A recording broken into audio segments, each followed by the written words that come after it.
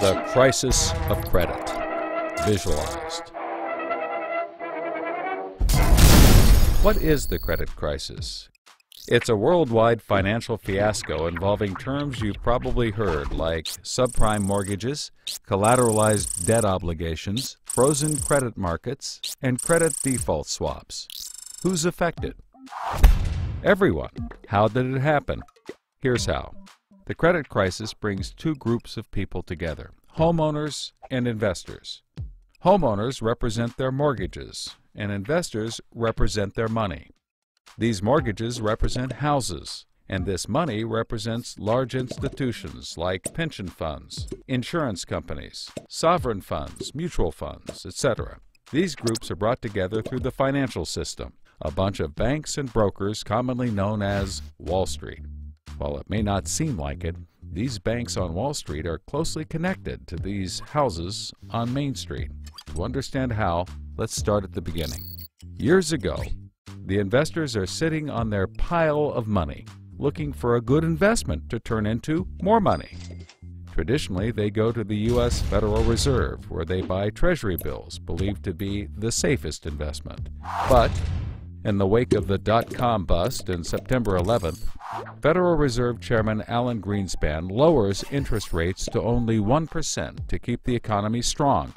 1% is a very low return on investment, so the investors say no thanks.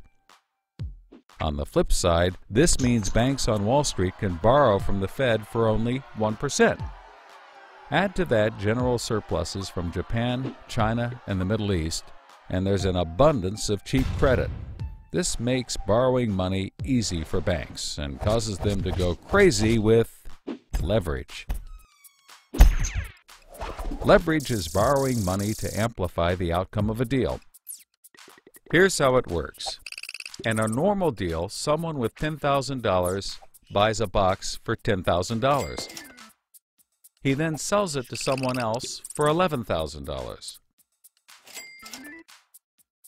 for a $1,000 profit, a good deal. But using leverage, someone with $10,000 would go borrow 990,000 more dollars, giving him $1 million in hand.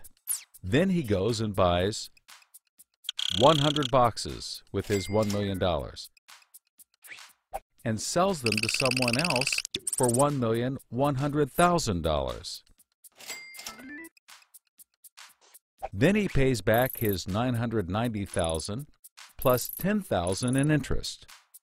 And after his initial 10,000, he's left with a $90,000 profit versus the other guy's 1,000. Leverage turns good deals into great deals. This is a major way banks make their money. So Wall Street takes out a ton of credit, makes great deals, and grows tremendously rich, and then pays it back. The investors see this and want a piece of the action, and this gives Wall Street an idea. They can connect the investors to the homeowners through mortgages. Here's how it works. A family wants a house, so they save for a down payment and contact a mortgage broker. The mortgage broker connects the family to a lender who gives them a mortgage. The broker makes a nice commission. The family buys a house and becomes homeowners. This is great for them because housing prices have been rising practically forever. Everything works out nicely.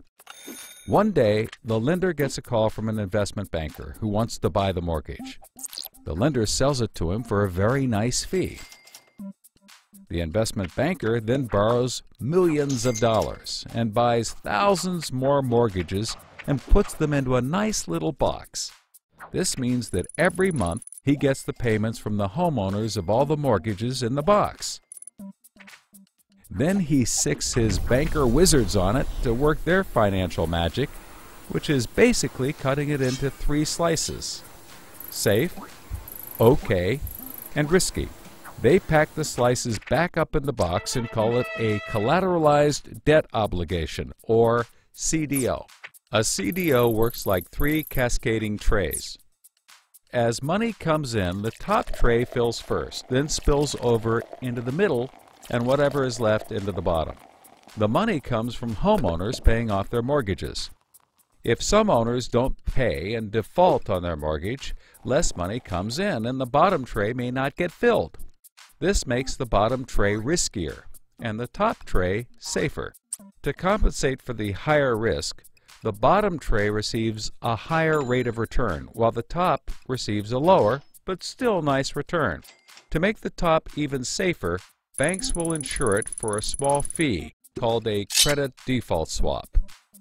The banks do all of this work so that credit rating agencies will stamp the top slice as a safe, AAA rated investment, the highest, safest rating there is. The OK slice is triple B, still pretty good, and they don't bother to rate the risky slice. Because of the AAA rating, the investment banker can sell the safe slice to the investors who only want safe investments. He sells the OK slice to other bankers, and the risky slices to hedge funds and other risk takers. The investment banker makes millions. He then repays his loans. Finally, the investors have found a good investment for their money, much better than the 1% Treasury bills. They're so pleased they want more CDO slices. So the investment banker calls up the lender, wanting more mortgages. The lender calls up the broker for more homeowners, but the broker can't find anyone.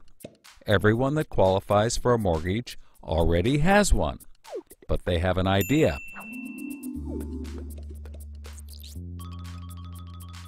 When homeowners default on their mortgage, the lender gets the house, and houses are always increasing in value.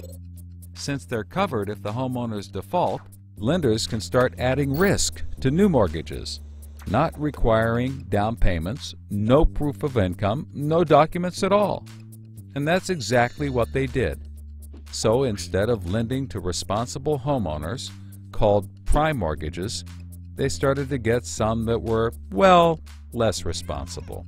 These are subprime mortgages. This is the turning point.